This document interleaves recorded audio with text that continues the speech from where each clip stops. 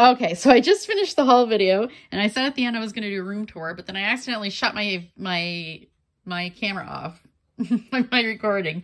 So yeah, I'm just going to do it um, and I'll post it for like tomorrow for Friday.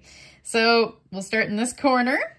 We have my neon wall and this is going to be a little sewing desk, not for like sewing my business sewing, but like junk journal sewing and things like that. And maybe like little mug, mug rugs and stuff. And I kind of just got stuff piled everywhere. Um, this is a shelf that goes on the wall. It's really cool, actually. Um, it's got a cork board on it. And then inside, oh, come on. Inside, it holds paper and it's got spaces for like all kinds of stuff. Like I used to have my scissors hung there and little pockets and little drawers. And um, yeah, I'm not, probably not going to use that here, I don't think, because it's good to have right beside you, um, right beside your workspace when you craft, because it has all the little like necessary tools. And I don't really, it opens the other direction to where, well, I'll show you here. This is my work table. I am sorry about the mess. I just did the haul. I've been sorting paper. It's ridiculous in here. And there's the gift bags that I just like took out of the bag to show.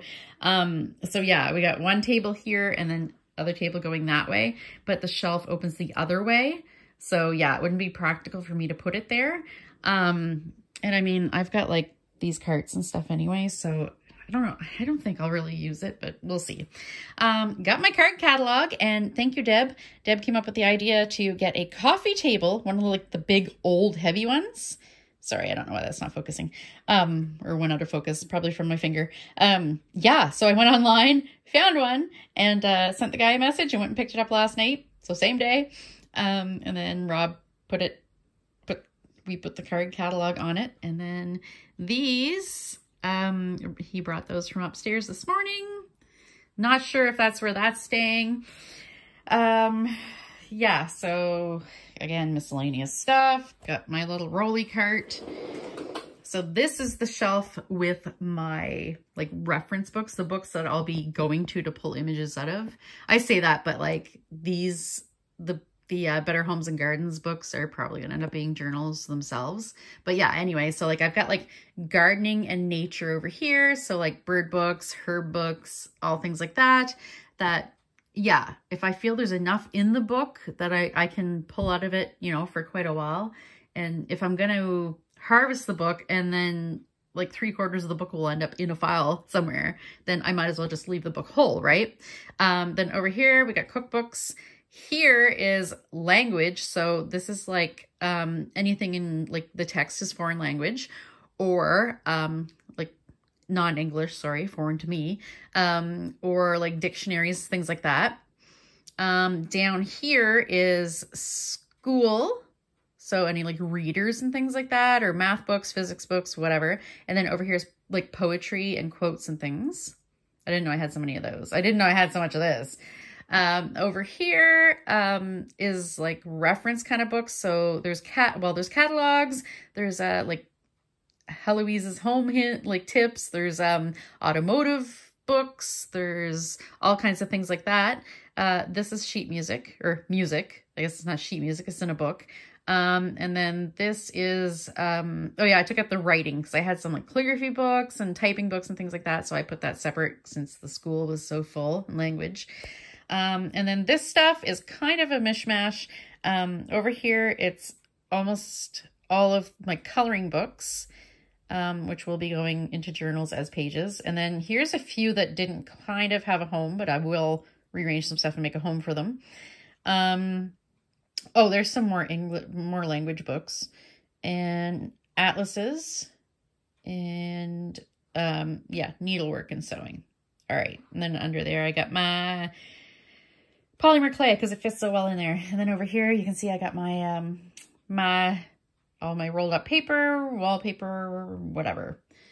Do, do, do. So then over here, this little shelf that I just happen to have in my living room, I'm not too keen on it. It's like, it's like MDF and it's not too pretty, but I measured it and this thing fits this wall exactly.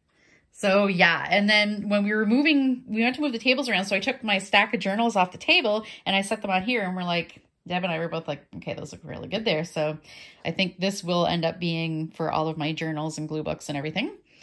Um, there are more than that. There's my little golden books, all of them except for the holiday ones. Um, yeah, so I got some stuff going on in this fo folder, uh, filing cabinet. In the white filing cabinet behind the door, I have um, all of my file folders, finally. Got those all unpacked. Um, there's some images there that I just need to sort into files. I've got three boxes of those. Um, in here, I'm going to haul a few things out uh, that I want to have in the room. Um, this shelf is really cool. I like this shelf. It's one of the like recollections or whatever it was, making memories or whatever. Um, I think we're going to put it on this wall right here. It's going to be a little high, but I, it's going to be like, I'm just going to have like ornaments and things on it. So it's not stuff I'll have to reach.